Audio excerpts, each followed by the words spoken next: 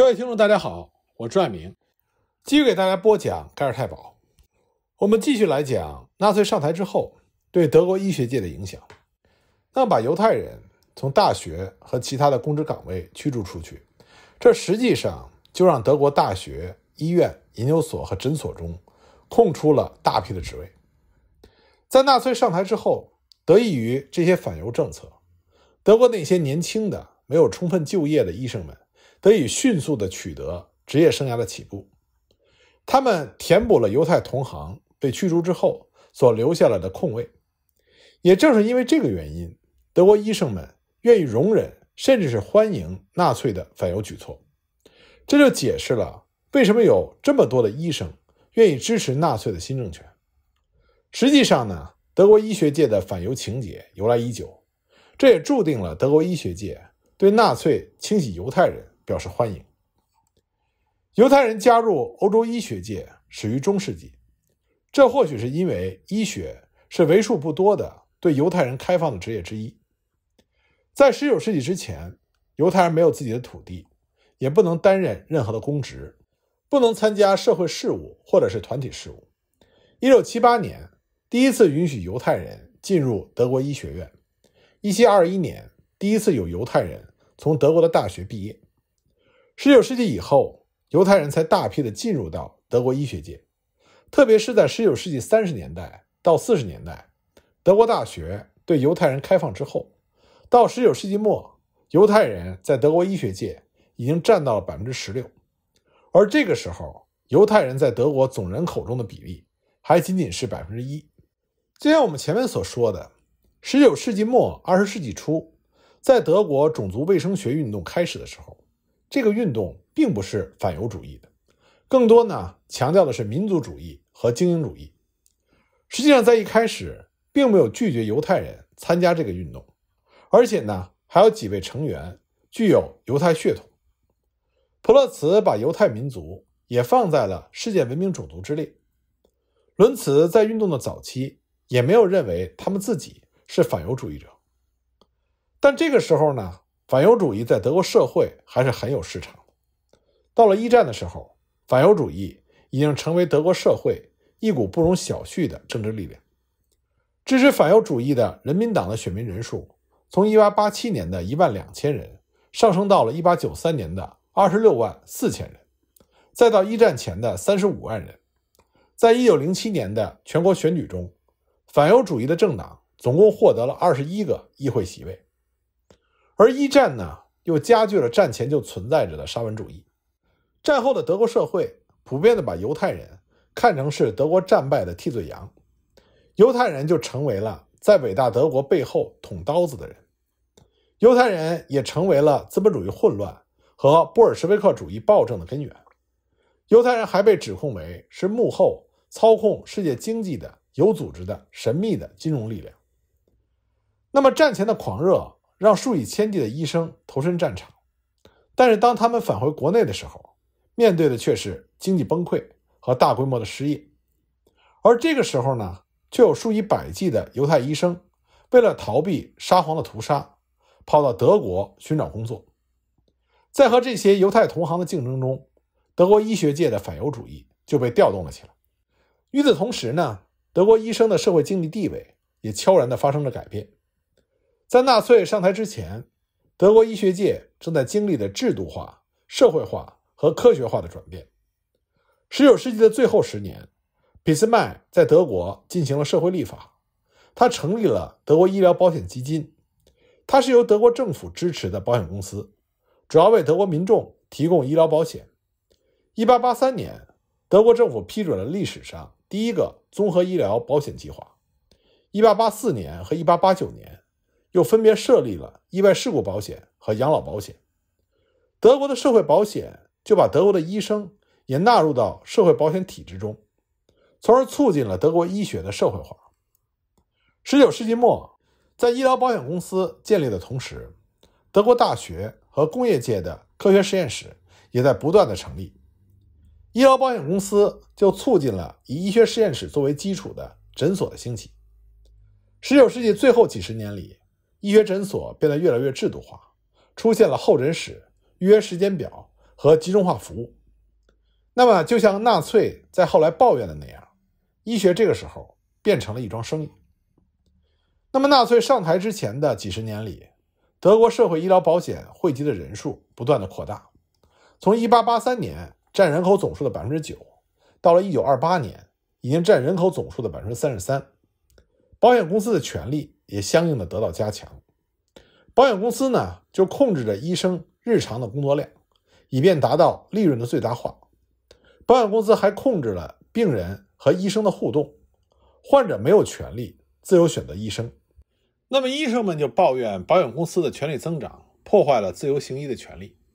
他们认为医学的社会化使病人不能自由地找他们就医，因为越来越多的人参加了疾病保险，他们只能去保险公司指定的医生那里就医，否则就不能报销花费，这极大限制了医学界的自主权。一九零零年。莱比锡的医生赫尔曼·哈特曼就发起组织了一个医学协会，这就是我们之前提到过的哈特曼联盟。哈特曼联盟的主要任务呢，就是加强医生同保险公司的交涉能力，以便为医生们获得更多的利益。到了1911年，已经有95%的德国医生参加了这个组织。哈特曼联盟的一个重要议题就是要让病人有自己选择医生的权利。经过近十年的斗争，保险公司终于允许让病人自己选择医生。但在1923年，保险公司在社会民主党人的支持下，又把这个规定废除掉了。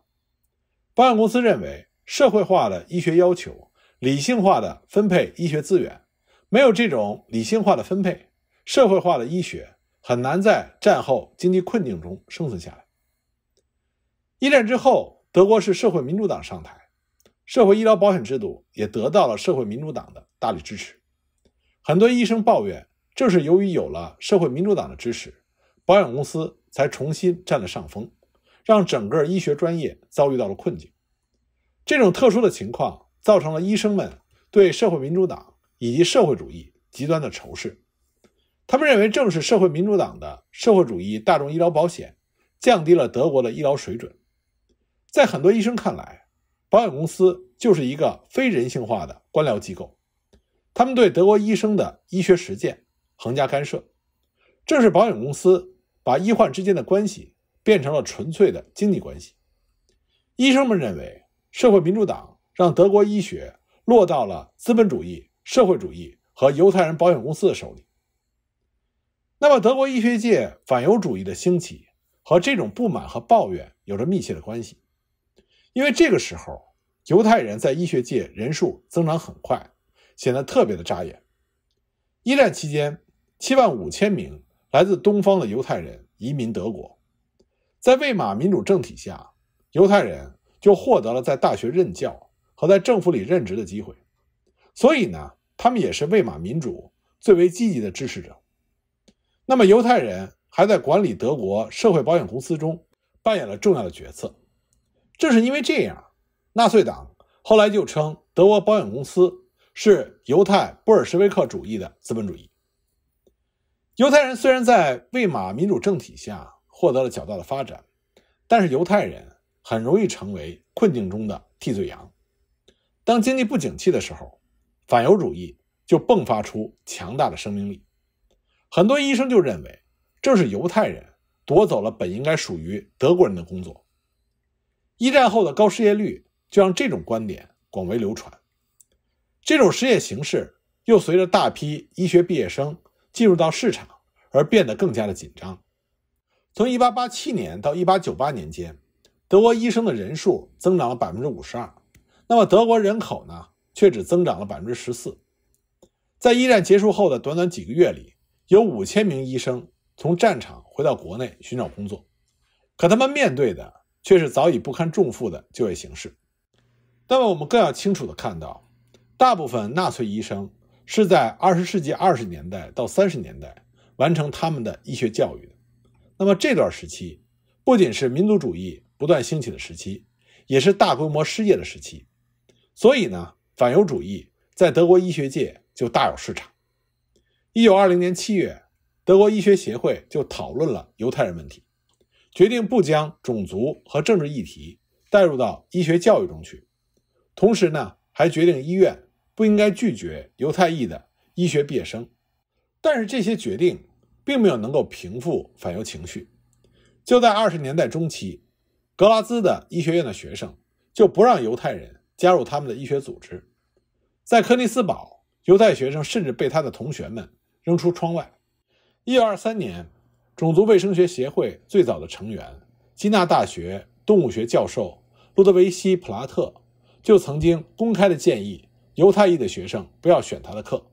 因为他会说一些令犹太学生不愉快的话。反犹主义和种族主义一样，都是出于对某种事物的恐惧。在二十世纪的头几十年里，正是对贫困化和对失业的恐惧加剧了反犹主义的传播。一九二六年五月，哈特曼联盟就声称，在德国医疗保险体制之下的两万八千七百八十四名德国医生，有百分之四十二每年的收入少于两千马克，有百分之二十八的人收入在两千到六千马克之间，只有不到百分之十的医生收入在一万两千马克以上。按照一九二六年的物价水平，这就意味着有将近一半的医生。收入只是略高于工人，而一九二九年大萧条来的时候，使局面更加的严重。一九二八年，德国的国民生产总值是七千五百四十亿马克，到了一九三二年，就只有四千五百一十七点五亿马克了，只相当于一九二八年的百分之四十。那么很自然，经济萧条就对德国医生产生了极大的影响。一九三二年，只有百分之十的医生。每年能有一万五千马克的收入，即便在一九二九年之前，还有百分之四十八的德国医生，他的收入要低于最低收入。到了一九三二年，有百分之七十二的德国医生收入在最低线以下。也就是说，德国医生在纳粹上台之前遭遇到了巨大的经济损失。德国保险公司也遭遇到了财政困难。到了一九三二年，保险公司的收入下降了近百分之三十。尽管收入在下降，保险公司还是增加了职业保险医生的人数，从1929年的2万8700人，到了1932年就变成了3万两千人，而医学院的学生人数也呈上升的趋势。1932年的时候，有近2万两千名学生在德国大学的医学院学习，其中五千人是新生。当时大学教育被看成是避免失业的方法，因为一战前。德国大学毕业生的失业人数几乎是零，但是到了1932年，有3万到4万名失业的大学毕业生，很多人呢都表达了对就业前景的失望。1933年1月，大多数的医学刊物都认为医学专业面临着巨大的灾难。1932年，德国医学院毕业的人数是德国市场能够吸纳人数的两到三倍，大批的毕业生找不到工作。造成了医学界的恐慌，他们担心失业的形势会影响到医学专业的前途，从而导致整个行业的贫困化。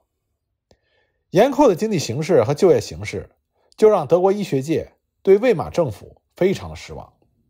一九三二年六月，德国医学协会上书给魏玛政府，要求限制德国大学的招生规模，但是被否决了，因为魏玛当局担心这样的做法。只会加重当前严峻的就业形势，使更多的医生倒向纳粹。因为纳粹当时承诺将会克服魏玛自由主义的软弱和冷漠，改变德国的现状，恢复德国医生的荣誉和地位。那么，纳粹上台之后呢，就采取了种种措施，改变医学界的现状。纳粹首先把全体的医生都纳入到德国医疗保险体制下，保证每年一千马克的最低收入。纳粹呢还在高校中限制犹太人，以减少德国医生的就业压力。一九三三年四月二十五日，反对德国大学和学院过度拥挤法就要求各个大学里非雅利安种族的大学生的人数，在该校学生人数的比例应该不超过这个种族在德国人口中的比例。一九三三年四月，普鲁士的内政部就宣布，外国人不准获得成为德国医生。牙医和药剂师的执照，巴伐利亚内政部呢，则直接宣布犹太人不准进入到医学院学习。通过反犹主义的政策，纳粹就成功的把犹太人从德国医学界驱逐了出去。德国医学界从这些政策中获益，犹太人的离开就让医学领域的竞争压力骤减，德国医生的收入得到了显著提高。一九三三年，医生的平均净收入只有九千二百八十马克，那么到了一九三八年，这个数字变成了一万四千九百四十马克。一九二八年，德国律师的平均收入是要高于德国医生的平均收入。那么到了一九三三年底，德国医生的收入就已经赶上了德国律师的收入。到了一九三五年，德国医生的年平均收入就已经比德国律师的收入要大约高出两千马克。那么，纳粹解决德国医学界困境的手段是极端非人性化的，它是以牺牲另外一部分人的利益作为代价。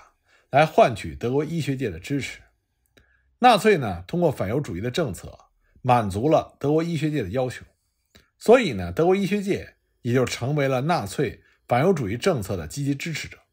因为他们从纳粹的反犹政策中获得了直接的收益。那么随着纳粹的上台，德国大学和医学组织就开始采取行动解决犹太人问题。一九三三年四月，莱比锡大学就宣布。由于犹太学生在大学里的人数和犹太人在全德人口中的人数不成比例，所以在接下来的十个学期里，不再允许犹太人入学。在柏林大学，非雅利安大学生虽然可以继续学业，但是必须使用特殊的黄色的纸。一九三三年四月七日，重设公职人员法的颁布，就加快了纳粹驱逐犹太人的步伐。这个法律呢，将犹太人和社会主义者。从德国大学和政府机构里剔除出去。一九三三年到一九三四年，数以百计的犹太医生和社会主义者医生被辞退。到了一九三四年，已经有一百一十五名医学教授和医学研究者被纳粹政权开除或者逮捕。国家支持的社会保险系统里的犹太人也被驱逐。一九三四年五月十七日，德国劳工部宣布，非雅利安医生或者配偶是非雅利安种族的医生。将不再允许在社会保险系统中行医，那么这就给犹太医生和左翼医生的生活带来了极大的影响。因为德国医生主要的收入来源于疾病医疗保险，通过种族立法呢，纳粹很快就在医学的各个领域合法驱逐了犹太人。一九三四年五月十七日，纳粹就明确规定，非雅利安种族的医生和有非雅利安种族配偶的医生，不准在德国医疗保险体制下行医。一九三四年八月十二日，纳粹要求所有的德国药剂师必须提供种族证明。一九三四年十二月八日，纳粹呢就进一步规定，只有雅利安人的后代才允许参加药剂师资格考试。一九三七年四月十五日，纳粹规定犹太人不允许参加博士资格考试。